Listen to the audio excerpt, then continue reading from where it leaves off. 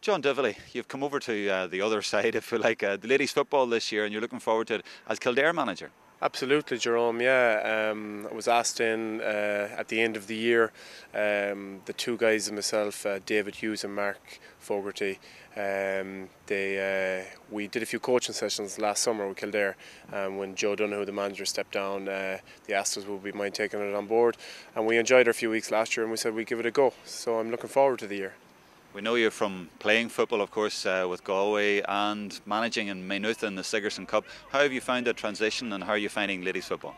Um, not too bad. Look, every team is kind of the same. It's just getting to know your players as quick as possible, finding out what they're good at and what they need to work on. And uh, it's a new challenge, but you know, four years of Sigerson is was long enough, you know, to learn a couple of new things. And uh, um, look, girls are uh, they're very very skillful players, and, and I suppose a lot of my companions in the in, in the men's uh, scene wouldn't understand it unless you actually go and watch them play in live. They're really, really skillful. If you ask them or, or point out something to them, they take it on board straight away. And um, there's some girls can be actually easier coached than guys. Ultimately, our aim is to try and win a Leinster Championship. Kildare have never won a senior in their history, and uh, that's our aim from from the start of the year. Just to really try and you know be ready for Dublin on 30th of June. That'll not be easy. They're the champions. No, absolutely. And um, we were down there last year. Dublin travelled down to Kildare, and we had a we had a very very good game.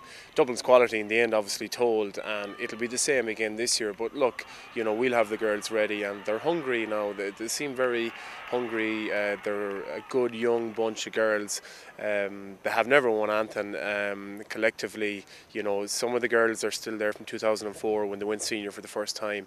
But uh, you know, we're really looking forward to. It's a massive challenge, but you know that's what you want. And just taking a wider perspective, uh, the ladies' football game, they have to well, they have to battle for profile, but they have a new sponsor on board here in the league, and um, you know they get a decent support. Absolutely, they do, and uh, you know some counties are obviously much stronger than others, and uh, the club scene is very strong. And you know, in possibly 25, 26 counties around Ireland. Again, um, they are fighting, you know, like GAA and hurling obviously are going to always get the top spots. But like if you look at the Camogie final here last year, it was a super match, you know, with, with Wexford and Cork. And, um, you know, the ladies last year again, like Cork are the, like, there's no one in the country that hasn't heard of Cork ladies football team in the last few years and what they've done. So, like, them alone have promoted football to a, to a massive standard, and uh, that's where we all want to get to eventually, you know.